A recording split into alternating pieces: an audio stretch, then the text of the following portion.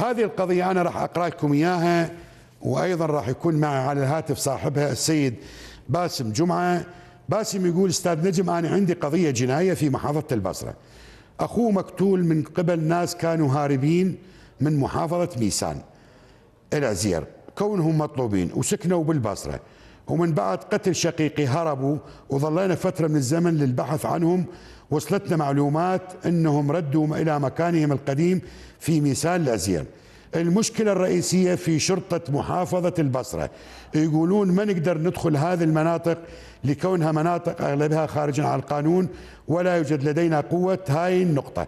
النقطة الثانية أحد المتهمين يسكن في محافظة ميسان داخل المدينة لكون لديه نفوذ بالسلطة. لا أحد يقدر أن يقبض عليه. وهذا الشخص لهذه الساعة يهددني إذا لم تتنازل سوف أهلكك في دعوة المخدرات. وهاي السنة الثالثة دخلنا ولا يوجد حل لهذه القضية. أستاذ نجم أن وصل صوتنا لوزير الداخلية مع شكري وتقديري وأسف على الإطالة. أنطوني السيد باسم جمعة. باس باسم سلام عليكم. سلام عليكم أستاذ. أنا وقناة التغيير ادعيناك على حقك وحياتك. شكرا جزيلا. سو- الله يوفقك. سولف لي سالفتك باختصار لأن أنا قرأت ما كتبته لي شلون انقتل أخوك ومنو ذول ال- اللي يقولون إحنا ما حد يوصلنا. نعم. قضيتنا قد- تقريبا سنة 19 نعم. حدثت حدث قضية وصار بها القتل لأن التفاصيل طويلة ما أقدر لأن عندك وقت. نعم. فالمتهمين هربوا. نعم. طلعوا خارج البصرة. نعم. ظلت تجينا تليفونات عده ما شنو دوافع القتل يا باسم؟ دوافع القتل. دوافع القتل ما نعرفها اول شيء لأن لأن عندنا قطعة أرض كنا نعم. نتردد نبنيها نعم. تفاجئنا باحد الأشخاص. قال إيش عندكم جايين في هذا المكان؟ نعم. قلنا ما قطعه الأرض مالتنا و... قال ما لكم مكان بهاي المكان. امم ارجعوا من ما اجيتوا قاعكم مشاهده كلامية. المشاهدة الكلامية. أها. فاجئنا بعدة أشخاص. أي. اجمعوا علينا. امم من بعدها انسحبنا. أي. أخوي طاح تليفونه طلعنا مسافه رجعنا برجعتنا تفاجئنا بعدد لا يعد.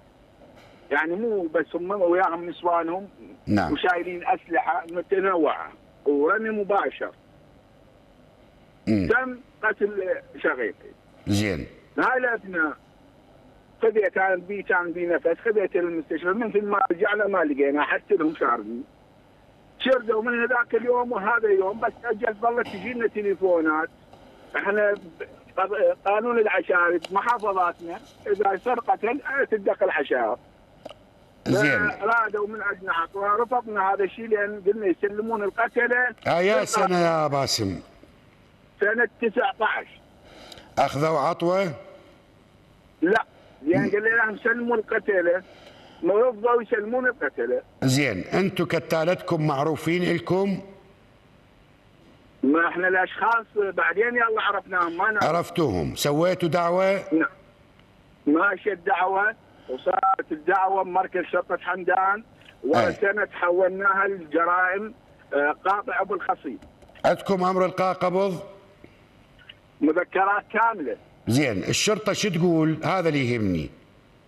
الشرطه قد ما ظلينا راجلهم قالوا بان هذول الأشخاص ملتجئين من مناطق أهوار وهذه المناطق ما يعني إحنا كقوة ما نقدر عليها لأن ذات قوة كبيرة. زين. لأن أغلبية اللي سا- السكن اللي اللي يسكنون هاي المناطق خارجين عن القانون. زين. فظلت تجينا تليفونات تهديد. ما نعرف مين امم سوينا دعوة على الأرقام. نعم.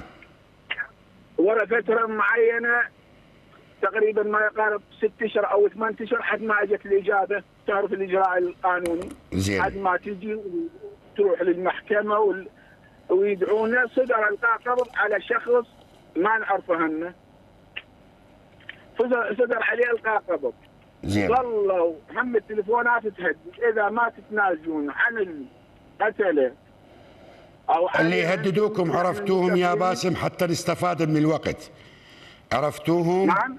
اللي يهددوكم بالتليفونات. من محافظه نيسان من محافظه نيسان. دليتوهم عرفتوهم؟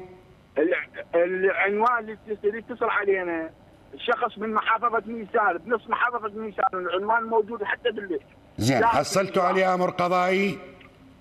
أمر قضائي صادر بحقهم آه، وفق المادة 406 زين الشرطة طلعوا عليه ما ما حد يعني جاي يطلع عليه ليش؟ لأن الأخ عندنا دعوتين واحدة على الاستخبارات لأن التهديد آه، هددوا أخوي أي الثاني. صار الشكوى لأن أرقام وهمية أو أرقام ما ما نعرفها. فصارت على الاستخبارات صدر على عليه مادة 430 دارت الاستخبارات. مثل ما فاتحة دار الاستخبارات. دار الاستخبارات ميسان أي.